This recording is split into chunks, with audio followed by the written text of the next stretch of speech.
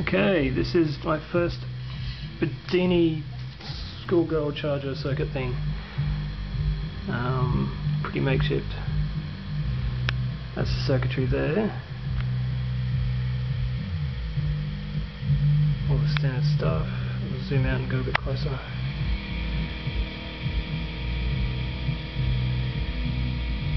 This pot. There's all the cables. I used a uh, uh, the bearing drive out of an old 7 inch floppy disk I'd lying around. It's a million times better than the bike bearings. This is my coil.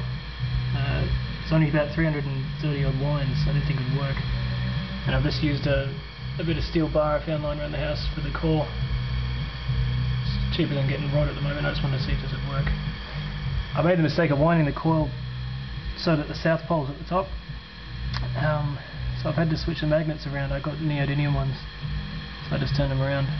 Seems to be working alright. Uh, that's the battery main one, 12 volt. Thing out of the Vergola roof. I'll try and find the stuff for it. It's upside down, but you can see it. That's the secondary battery, the charging battery.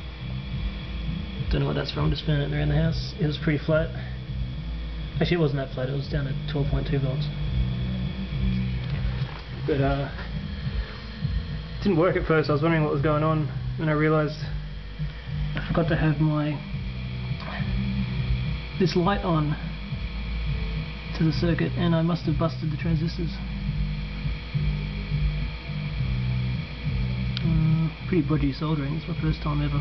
So, anyway, it's working. It's been going now for about 15 minutes. Haven't had to touch it. Doesn't sound too bad either. The bearing's good. That's the uh, bearing mount back there. Just drill the hole straight through the back so you can see it. I haven't tried to stop it yet, so I don't know if there's any torque to it or not, but it